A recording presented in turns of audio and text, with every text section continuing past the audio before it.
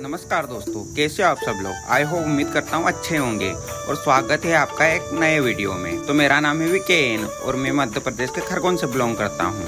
तो आज के इस वीडियो में हम बात करने वाले हैं मध्य प्रदेश के जिला मुख्यालय से लगभग बहत्तर किलोमीटर स्थित ग्राम आशापुर की। आशापुर गाँव में भव्य मंदिर विराजमान है माँ आशापुरी का। मंदिर का इतिहास पांडव कालीन बताया जाता है। यहाँ पांडव पुत्र अर्जुन ने विद्याचल पर्वत पर तपस्या करके माता को प्रसन्न करके वरदान प्राप्त किया था। साथ ही मांडव के राजा आलाउदल ने भी यहाँ तपस्या करके माता को प्रसन्न किया था। सभी की आशाओं को पूरा करने वाली माँ आशापुरी धाम में नवरात्रि के दौरान रोज़ाना हज़ारों श्रद्धालु दर्शन के लिए पहुँचते हैं। मंदिर ट्रस्ट के तिलोक यादव ने कहा कि माँ आशापुरी माता जी का यह मंदिर पांडव कालीन है इसका उल्लेख महाभारत में भी मिलता है। इसके साथ ही राजा मानदाता जी की एक कुल देवी भी है।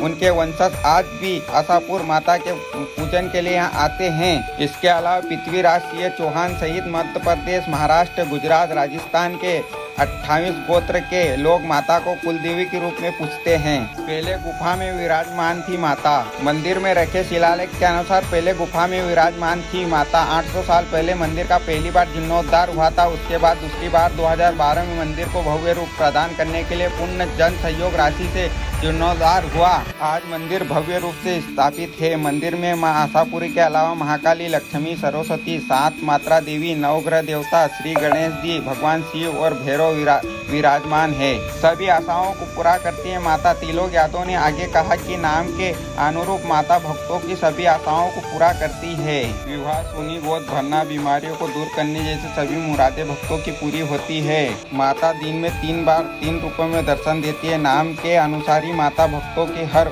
आशा पूरी करती है। माता के मंदिर को भव्य रूप प्रदान करने के लिए एक करोड़ बीस लाख सत्यासी हज़ार रूपए की लागत आई है मंदिर निर्माण में। तो हेलो दोस्तों, आज के वीडियो में दी गई जानकारी आपको कैसी लगी? अगर जानकारी अच्छी लगी हो तो हमारे चैनल को सब्सक्राइब ज़रूर करें और साथ ही वीडियो को ज़्यादा से ज़्यादा शेयर करें ताकि अन्य लोग भी इस मंदिर तक पहुँच सके। तो मिलते हैं नेक्स्ट वीडियो में, तब तक के लिए बाय